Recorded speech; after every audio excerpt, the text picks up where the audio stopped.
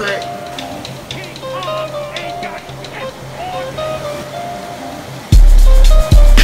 feel like there's there's still some things that I'm kind of holding back in my music.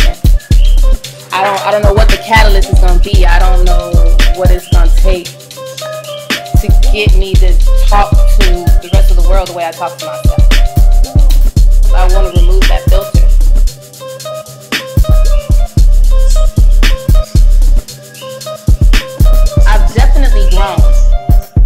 Think being an artist and going through like all the things that I've gone through for the last couple years or so have really thickened my skin a lot in a way that I didn't get when I was younger. You know what I mean? I just kind of had to live life some more and and just say fuck it. People can think what they want to think. And the more that I've done that, the more people seem to respond. You know.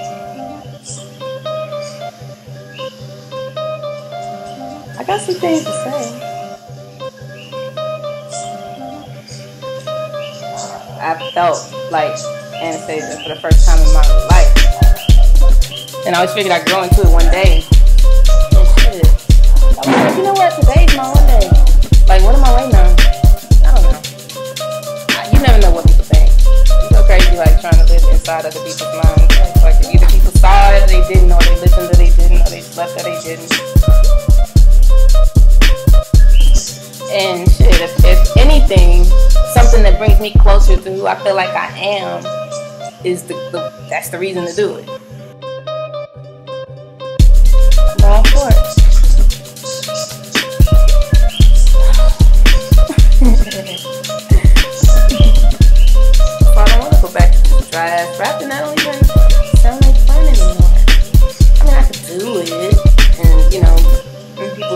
Stuff, and I'm like, yeah, I could do it, but I don't feel it.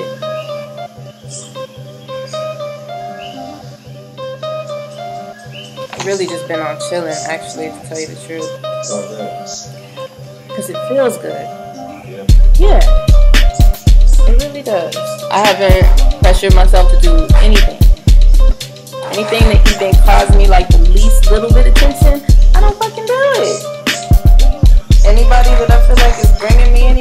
I don't fucking talk to them. You know what I'm saying?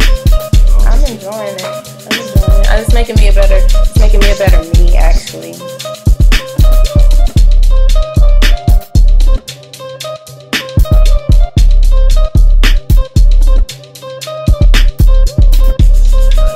It really is.